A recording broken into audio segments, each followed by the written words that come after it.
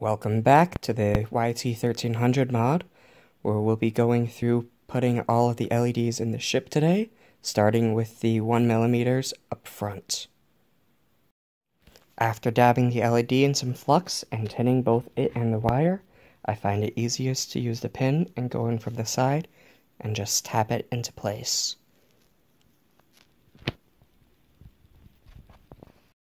For the second wire, I like to grab the LED by the first wire in the clamp.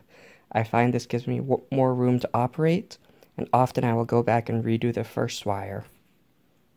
As you can see, the black is much better connected than the red. After redoing the first joint, I am good to go ahead and test it to make sure that I have continuity throughout the entire LED.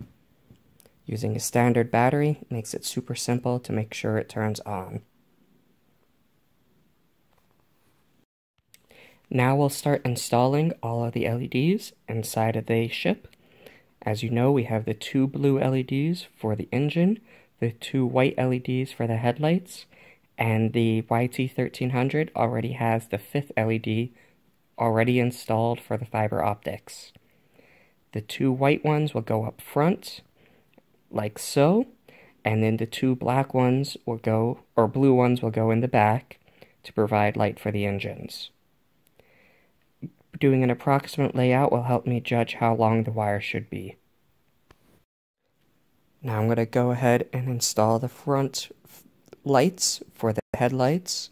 If you notice, I did have to change to a smaller gauge wire in order to get the wires to fit through the ship. I'm just going to use some green stuff to hold it in position. After I test fit it with uh, by hand and with the pliers, and then route the wires underneath the fiber optics. This is to make sure that as I am working on the system, I don't pull the fiber optics out of place and cause them to be damaged. It's useful to once you start threading them through, to just use your pliers or tweezers to pull them the rest of the way.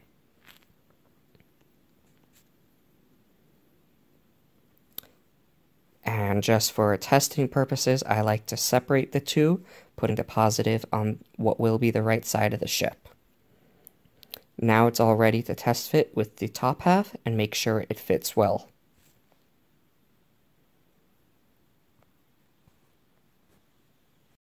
And with the two halves of the hull pushed together, we can make sure that the, the LED is in place prior to just securing it with green stuff.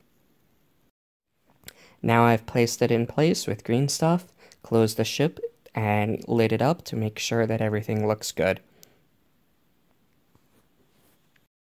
Here is a shot of the ship with both sides done. I have the green stuff secured inside and just test fitting everything.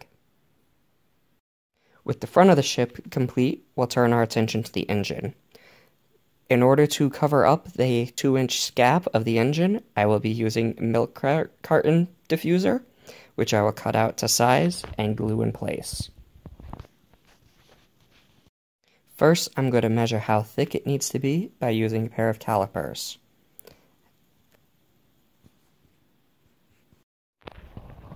Once I have the measurement taken from the ship, I will use the calipers to align the ruler to make sure I get a good width.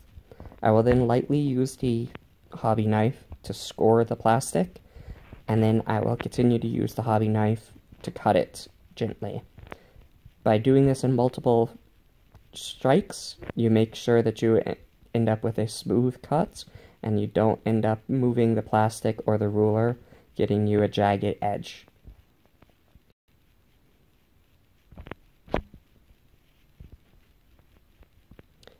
And with the piece cut off, I will then test the thickness to make sure I am very close to where I need to be.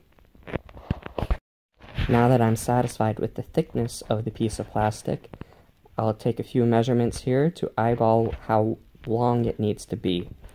I will then use my hobby knife to just make a mark, and then I will line up my blade with that mark and make a perpendicular cut.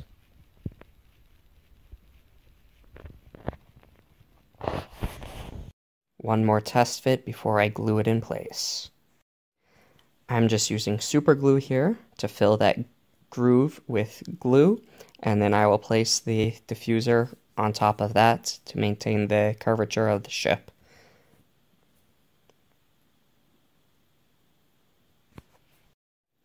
And now that the diffuser is in place, I will test fit it to make sure everything looks good. I'm satisfied with the results here. It seems like there is only very small gaps, if any, along the entire edge. Last up, we have to start putting all of the electronics inside of the ship itself. I've already soldered on the first resistor to the battery itself, and now I'm going to be soldering on the first blue LED for the engine. I will be using both my hands to steady the ship and hold the LED in place, with the other hand holding the soldering pen. This is one of the more tricky operations, as you have to align numerous things all at once, and you have very little room to navigate throughout. As you continue to solder more wires, it becomes more complicated. Continuing on, I've now soldered both LEDs for the engine in place, and I will be now attaching the resistor for the white LEDs. This will be the fourth wire at this joint, making it extremely difficult to get all four to stay together. I will end up using a combination of angles from the tweezers in order to get a good joint on all four wires. Oftentimes, one when you get one in place, another will like to come out of place, so it can be very difficult to manage this. And now we're moving on to the negative side of all five LEDs.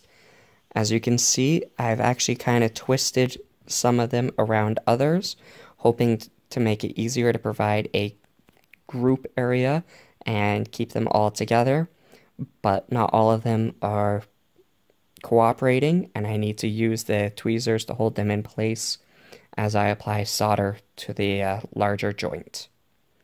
These will all go onto the magnetic reed.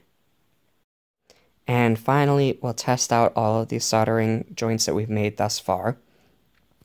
As you can see, upstream of the mag magnetic reed, when I touch the leads, it turns on. Downstream, it does not until I place a magnet on the switch itself. Everything appears to be working as intended, so please tune in the next time for the conclusion of the YT1300.